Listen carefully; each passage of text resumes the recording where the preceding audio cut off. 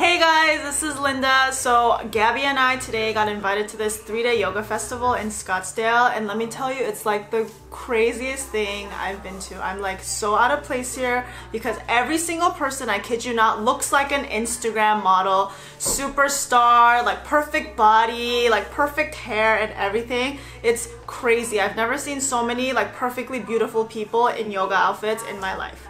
So because of that, I mean like I don't have blonde hair. I don't have like you know like perfect Instagram model body and stuff like that. So I feel like really out of place to be honest. And it's like bringing up like insecurities inside of me. So I'm gonna be sharing two tips on how to overcome your insecurities and try new things, meet new people, and get yourself out there. One, Remember that every single person has insecurities. Even the ones that look confident, even the people who look like they have everything in their life together, every single human being, because we have emotions, because we have thoughts, we carry insecurities. So in that sense, you're on equal playing fields with everyone. No one is more vulnerable than the other person. We all carry that same level of insecurity, so we're all equal in that sense. You are no less than, they are no more than you are.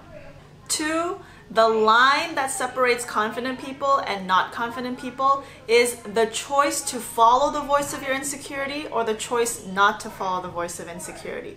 Like I said, because everyone is insecure, everyone carries their own insecurities inside, the people that seem confident are the ones that don't let those voices of insecurities control their behavior, control their thoughts. They step over them and still do what they want, not listening to those voices. Whereas the people who are not confident, they're the ones who let the voices of their insecurity control them. You know, those little things that say, like, you're not good enough, you'll never make it, people will judge you, you're too fat, you're too ugly, you're not you're not pretty enough. Those little voices that we all carry inside, the people that are not confident are the ones that say, "You know what? You're right. So I'm just going to sit in here and not talk to anybody because I'm not that pretty, I'm not good." And tell themselves all these horrible things that make them shrink and you know, when you keep telling your brain that kind of bad information, your brain literally shrinks. So people who are depressed and anxious, their brains are operating at a less capacity than someone who is confident. So the only difference between the confident and the non-confident is what voice they choose. So step two to get out of your insecurity and to get yourself out there is to not choose the voice of your insecurities.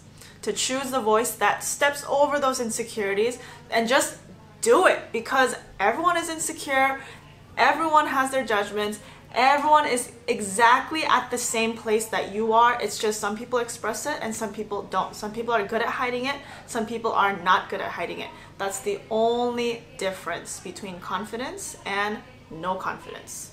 So with that said, there is an awesome acro yoga class where you hang from the ceiling and stretch. So I'm gonna take part in that. So I'll catch you guys later.